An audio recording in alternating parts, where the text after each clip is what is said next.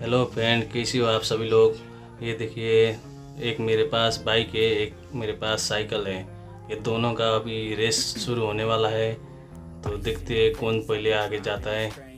देखिए, ये pink colour का बाइक है और ये ब्लू कलर का साइकिल है। अभी ये गया बाइक इसका स्पीड मस्त है और बच्चों के लिए सही है ये। अभी दूसरा साइकिल भी दौड़ाता हूँ।